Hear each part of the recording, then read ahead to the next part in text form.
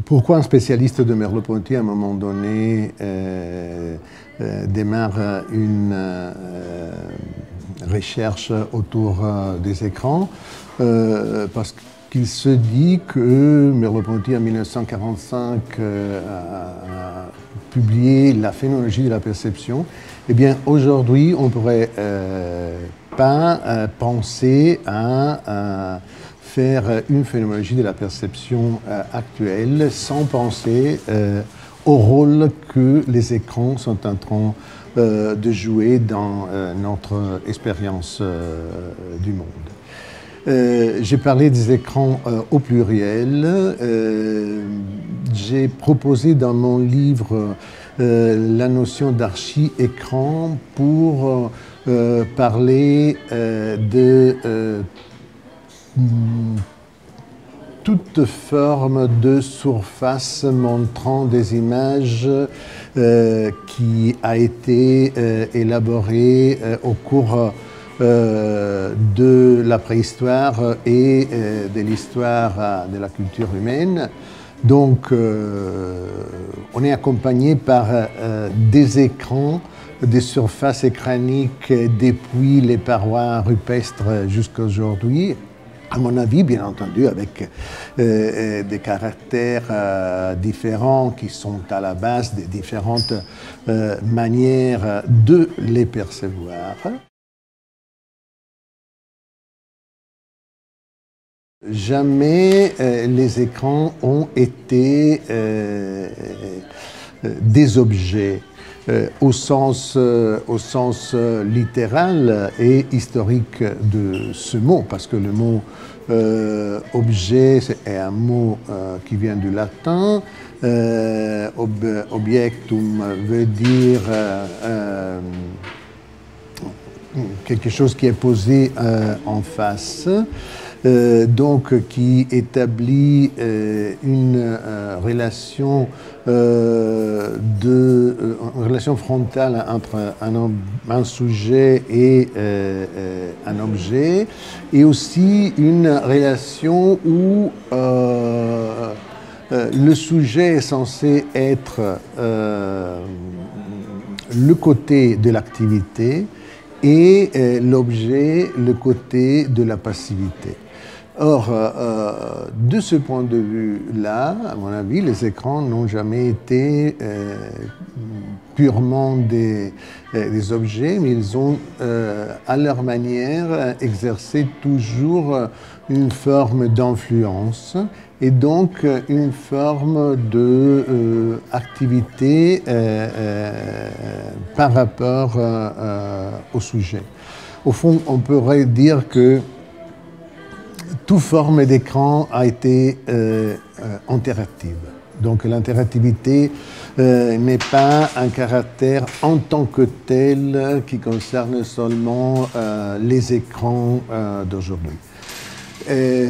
C'est pour cela que je parle de, des écrans en général en termes de quasi-sujets, précisément pour souligner leur capacité d'expression, leur capacité d'action, et, encore ce que un spécialiste de nouveaux médias comme euh, le russe qui enseigne aux États-Unis, Lev Manovich, euh, appelle leur euh, agressivité. Les écrans, donc, à mon avis, ont une autonomie relative par rapport euh, aux images euh, qu'ils affichent.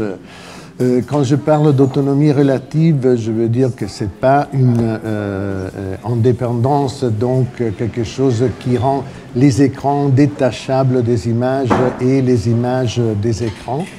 Je pourrais le dire comme ça, les images font les écrans en se faisant images, mais en même temps, les écrans font les images en se faisant écran. L'écran est euh, le quasi-monde à l'intérieur duquel les images deviennent des images. on est prêt à reconnaître une image en tant que telle quand une certaine tache de couleur, par exemple, nous est présentée à l'intérieur d'un certain cadre qui est euh, son euh, écran. C'est à l'intérieur de ce cadre que cette tâche devient euh, reconnaissable en tant qu'image. Donc, qui devient, à proprement parler, une image.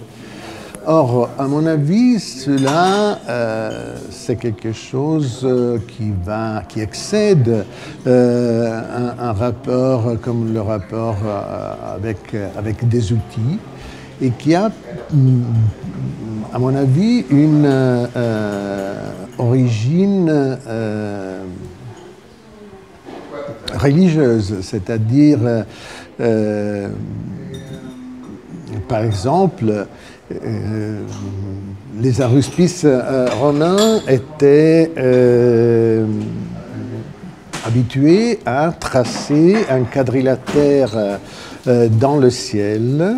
et à l'intérieur de ce quadrilatère, le vol des oiseaux avait une valeur qui excédait leur euh, visibilité primaire parce que le vol des oiseaux euh, signifiait quelque chose pour euh, le destin des êtres, des êtres humains, mais seulement à l'intérieur de ce cadre. Alors cette idée qu'il y a un espace à l'intérieur duquel ce qui se passe ailleurs euh, prendre une euh, visibilité euh, qui excède sa propre manière d'apparaître. C'est quelque chose qui a une origine religieuse, je vous disais, et qui est à la base de la notion d'écran telle qu'on continue à, à, la vivre dans notre expérience, même si on a bien entendu euh, euh, oublié les racines euh, religieuses qui sont à la base de cette manière de nous rapporter aux écrans. Les écrans ont toujours eu un statut de quasi-sujet. Euh, et en tant que tels, ils ont toujours euh, eu une certaine agressivité euh, en prétendant d'avoir nos yeux pour, pour eux. Et je pourrais dire aussi que les écrans ont, toujours eu une certaine aura. Hein. Alors tout cela, évidemment, a changé a changé euh, beaucoup dans les différentes époques euh, de l'histoire euh, humaine, a changé d'intensité, par exemple. Donc cette agressivité a été plus ou moins intense.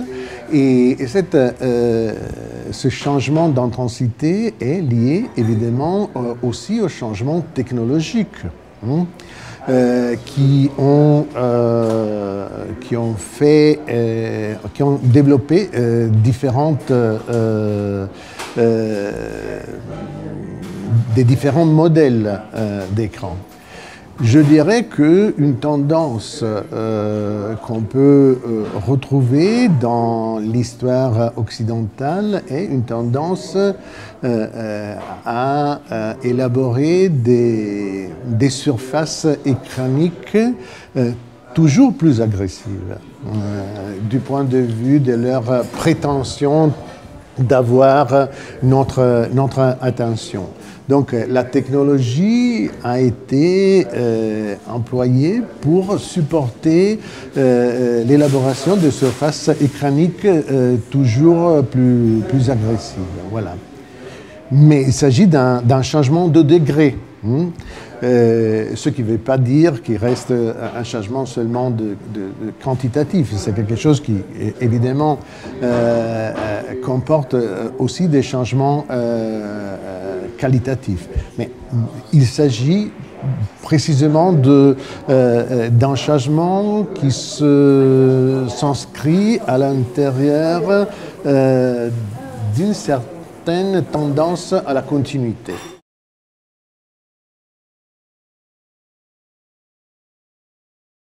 Ils ont toujours les différents types d'écrans avec des différentes des différents degrés d'intensité. Ils ont toujours exercé cette forme euh, de euh, séduction au sens, je, vous dites étymologique de ce mot. Donc le mot séduction est un mot qui vient du latin seducere, ça veut dire donc conduire à soi.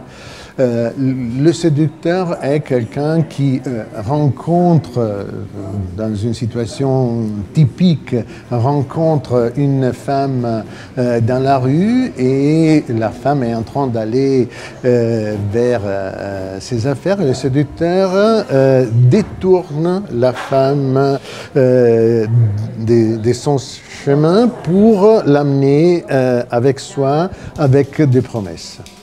Voilà, c'est ceux qui font euh, euh, les écrans. Et, comme les séducteurs, les écrans aussi savent qu'ils ne sont, ils, sont pas à, mesure de maintenir ces promesses. Hein. Alors, euh, la promesse des écrans est, comme je l'ai dit dans le titre d'un chapitre de mon livre, Viens vivre chez moi. Hein.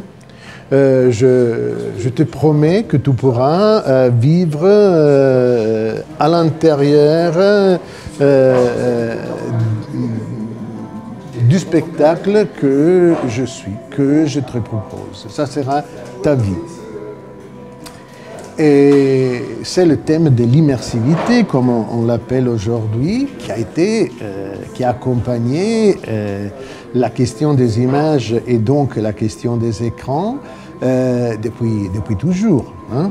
Là aussi, avec des différences dues aux différences technologiques et donc aux différences euh, d'intensité.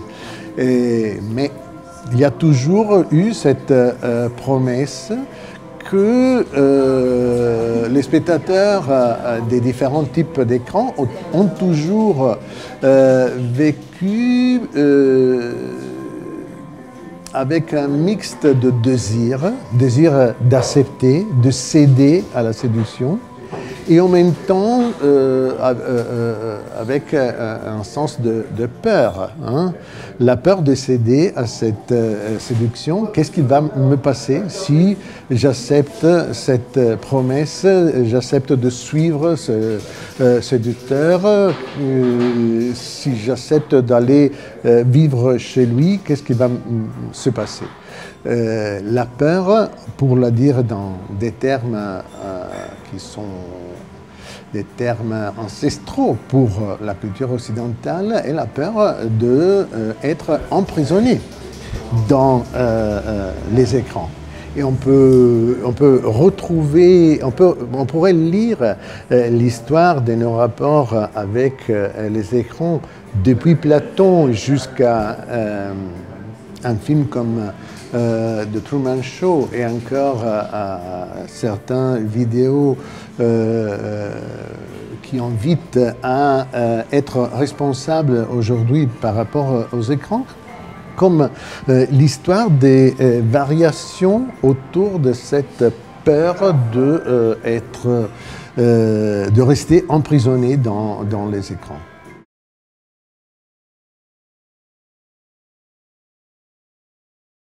Tout ce que j'ai essayé de souligner est que les écrans ont toujours été comme ça depuis euh, la paroi euh, rupestre euh, jusqu'à aujourd'hui. Et donc que les problèmes auxquels nous sommes en, train de faire face aujourd'hui ne sont pas en tant que tels euh, en principe des problèmes euh, différents par rapport aux problèmes que chaque époque a eu euh, dans ses rapports avec les écrans. bien entendu, avec une, une, intensité différente. Mais alors là, je pourrais évoquer la métaphore qui a été proposée par un, un spécialiste américain euh, des euh, natifs euh, digitaux et des immigrants digitaux pour dire que, évidemment, la plupart de nous vient d'un lieu où les écrans électroniques et numériques euh, n'avait pas euh, changé notre manière d'être au monde. Donc la plupart de nous a la tendance à euh, regarder cette réalité nouvelle qui est la nôtre avec les yeux et avec un peu la nostalgie de l'époque euh, qu'ils ont connue dans un autre pays qui était le pays euh, précédant la, révolution numérique actuelle. C'est une révolution qui s'est déclenchée à partir des années 90 du XXe siècle, donc c'est une révolution très récente euh, euh, les natifs euh, digitaux sont seulement une génération. Et ce qu'ils sont en train de faire en, étant au premier rang est de essayer de négocier des nouvelles conditions de vie, des nouvelles conditions de médiation de nos rapports avec euh, le monde dans ce nouveau pays que nous sommes en train euh, euh, d'habiter maintenant. donc, à mon avis, il faut penser les choses dans ce terme de, négociation des conditions de vie dans ce, nouveau, ce nouveau pays.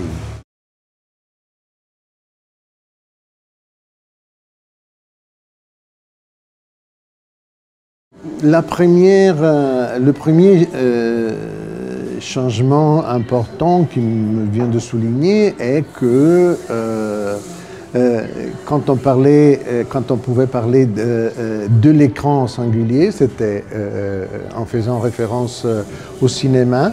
Eh bien, l'écran du cinéma était un écran qui exerçait sa séduction à l'intérieur d'un espace qui lui était consacré. Et donc c'était euh, le spectateur qui choisissait euh, d'aller rencontrer euh, l'écran cinématographique dans l'endroit qui était consacré à cet écran. Donc le choix venait de la part du spectateur d'aller rencontrer l'écran. Ce qui se passe aujourd'hui, c'est quelque chose de très différent parce que les écrans euh, qui peuplent les, espaces publics sont euh, des écrans euh, qui, par contre, ont été créés pour aller à la rencontre des, de leurs spectateurs potentiels. Donc, donc ne sont pas les spectateurs qui vont chercher les écrans, mais sont les écrans qui vont euh, chercher euh, leurs euh, spectateurs.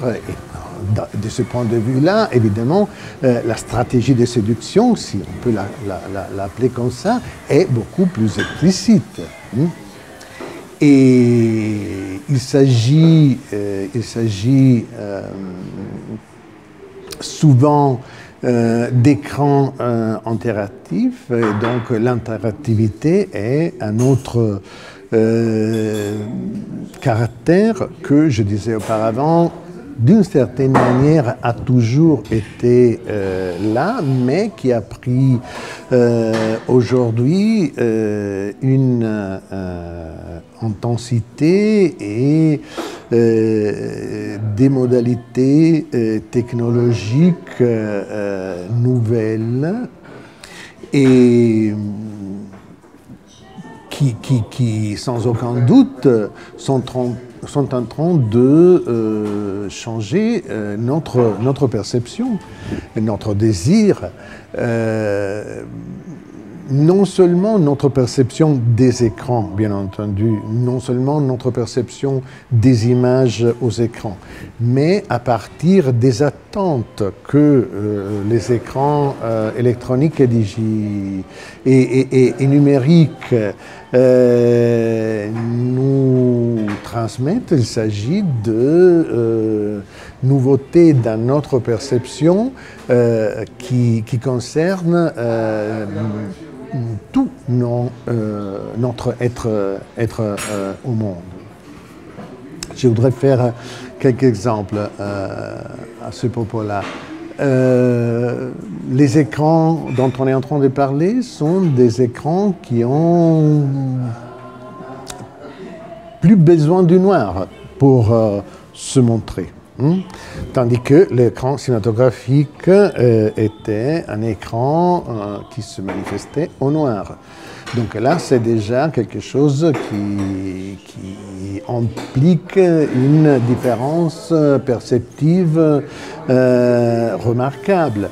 Le, spectacle cinématographique était un spectacle collectif aujourd'hui euh, et euh, le rapport avec l'écran de notre ordinateur et le rapport avec euh, l'écran dans un espace public, euh, c'est pas forcément un, rapport euh, collectif au sens où il était à, l'occasion de spectacles cinématographiques. Hein. Et la distance par rapport à l'écran change.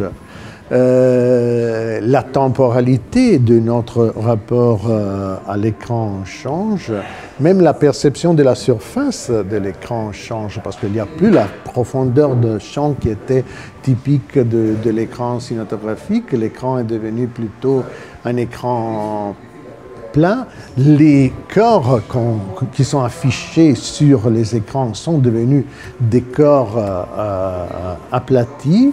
Et donc, euh, euh, ça nous pose euh, des exigences esthétiques et éthiques tout à fait nouvelles.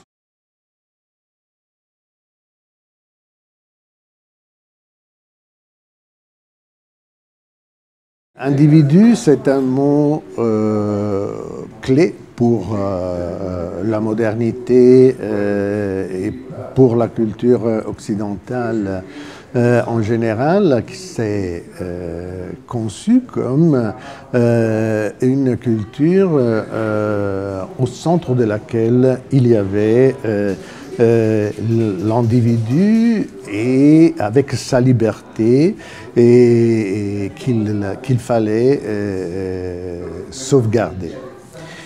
Et, le mot euh, individuation, par contre, c'est un mot qui a été euh, proposé par euh, le philosophe français Gilbert Simondon pour dire que les êtres humains ne sont pas des individus stables, avec des caractères qui restent euh, les mêmes euh, et avec une identité qui reste la même euh, toute leur vie. Et il parle d'individuation pour dire que notre manière d'être au monde est, dans un équilibre qui n'est pas stable, mais métastable ce qui veut dire qu'il s'agit d'un équilibre qui peut euh, euh, changer euh, d'état. Donc passer d'un certain équilibre métastable à travers une phase de déstabilité à une autre phase métastable. je trouve que le mot d'individuation est un mot intéressant parce que euh, nous permet d'éviter de, parler encore une fois de sujet. Mais je trouve que si euh, le, euh, les êtres humains que nous sommes changent grâce et à travers leur relation réciproque, leur relation au monde, Et si les écrans sont devenus euh, les interfaces euh, euh, privilégiées de ces relations en se multipliant comme on est en train de, voir, eh bien cela comporte que nos relations se multiplient et donc notre identité même arrive à s'éclater. Donc dans ce sens-là, on ne peut plus, à mon avis, euh, parler d'individu euh, au sens étymologique de euh, ce mot qui, veut dire indivisible. Et je pense plutôt que l'autre face de notre euh, multiplicité de relations est une multiplicité de euh, d'individualités que nous sommes. Donc euh, nous sommes dans une situation de individualité, nous sommes des individus plutôt que des individus. Et chaque face de notre individualité est l'autre face d'une des relations simultanées que nous établissons avec, avec le monde.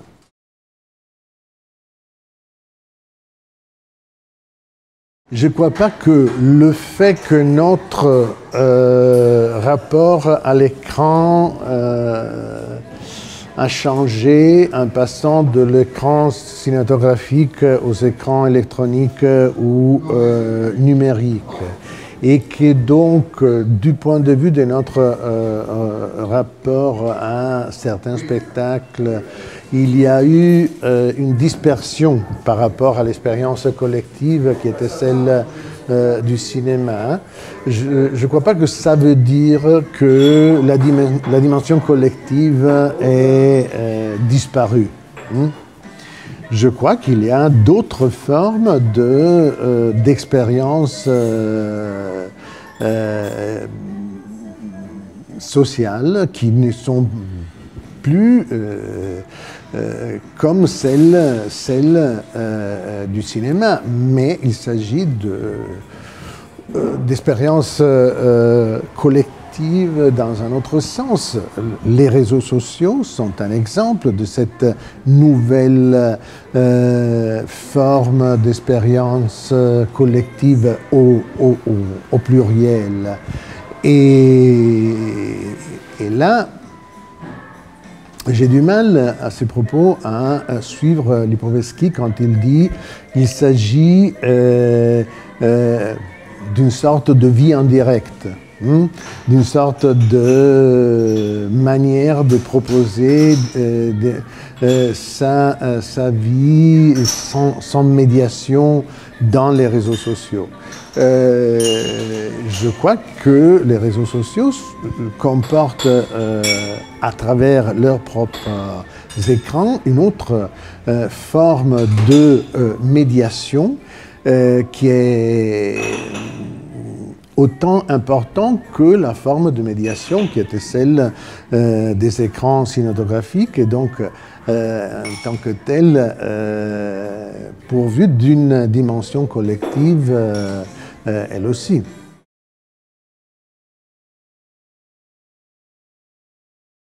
Sans aucun doute, il y a un problème d'économie de l'attention et sans aucun doute, en, tant qu'usager d'écran, euh, j'ai l'exigence de euh, réduire euh, mon temps d'exposition aux écrans parce que ça c'est quelque chose qui est important pour cette réduction, qui est importante pour ma vie, aussi pour l'intensité de mon attention et la possibilité euh, de euh, réflexion. Donc, euh, je suis tout à fait d'accord que dans les espaces publics, il faut, faut penser à, aussi d'autres formes différentes des écrans pour solliciter ou accueillir l'expérience de ceux qui fréquentent les espaces, les espaces publics. Je pense aussi que peut-être on aurait l'intérêt et de la part de ceux, de ceux qui pensent aux écrans dans une fonction publique.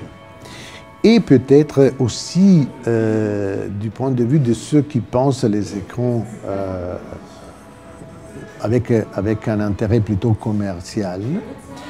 Euh, je pense qu'il y aurait l'intérêt à essayer de baisser l'agressivité des écrans. Hein. précisément pour mettre l'usager plus à l'aise par rapport aux écrans.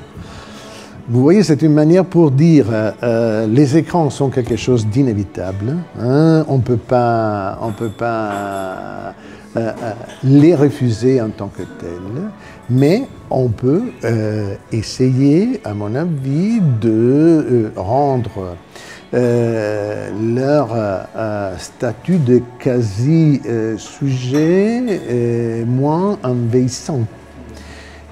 par exemple, avec avec euh, une euh, mineure agressivité perceptive. Hmm, ça veut dire euh, un choix de couleur, un choix de, vitesse des mouvements des images moins agressives.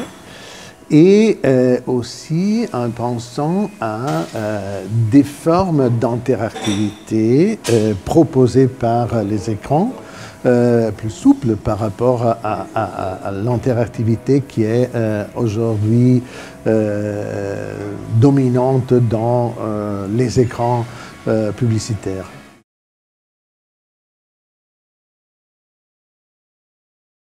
pour l'intérêt commercial, à mon avis, on aurait l'intérêt à réduire.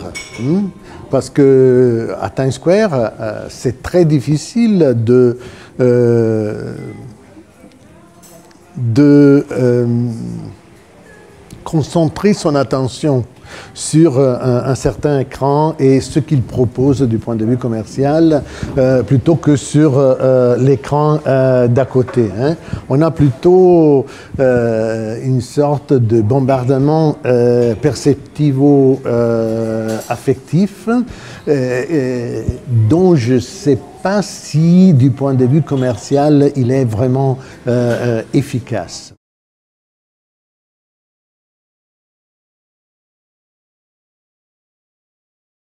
Alors revenons un moment à, Times Square. Euh, dans le livre, je, prends en considération un certain euh, euh, écran interactif qui à un moment donné est devenu très populaire à Times Square. C'était celui du, marque de, de mode Forever 21. Alors, quand je suis, quand j'ai traversé Times Square, j'ai tout de suite remarqué euh, cet écran et ce qui s'est passé à l'intérieur de cet écran. Euh, tandis que je ne me rappelle rien des autres écrans qui étaient euh, en même temps allumés dans, dans, dans, la place. Et donc le problème est celui de, de attirer l'attention euh, des, euh, des, usagers potentiels. Hein. Pourquoi cet écran était en, euh, mesure euh, d'attirer l'attention? Parce qu'il s'agissait d'un écran euh, qui proposait une expérience interactive très forte. Hein. C'est-à-dire les gens qui étaient dans la place se voyaient en, en, temps réel dans l'écran. Et il y avait un modèle euh, qui entrait euh, dans l'écran et qui prenait des gens qui étaient, les images des gens qui étaient dans la place, et pour, je sais pas, les transformer dans des grenouilles ou plutôt de les faire glisser dans son sac, etc. Donc il y avait cette multiplication euh, de, l'interactivité qui était très individualisée. Et ça permettait euh, euh, d'aller au-delà de la concurrence. Ce la concurrence des autres écrans dans la place n'était pas en mesure de faire. Et donc, le problème est toujours celui de trouer l'écran. Voilà.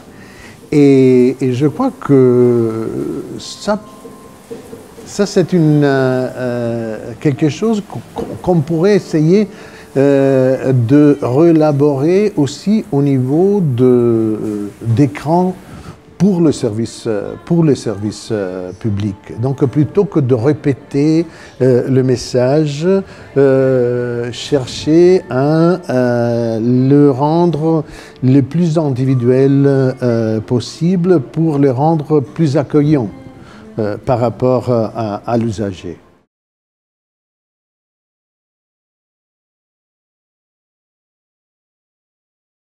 Pour McLuhan, les médias euh, étaient des extensions euh, de l'homme. Le sous-titre de son ouvrage euh, Understanding Media is an extension of, of man.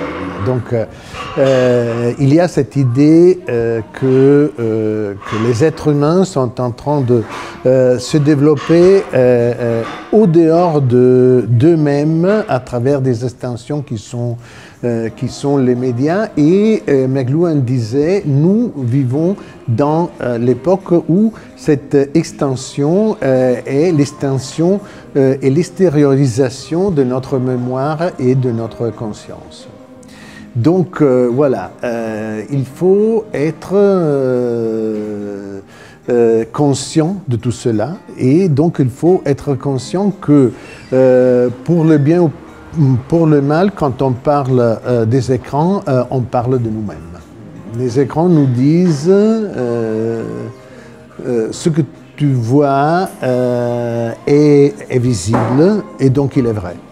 On est là dans une époque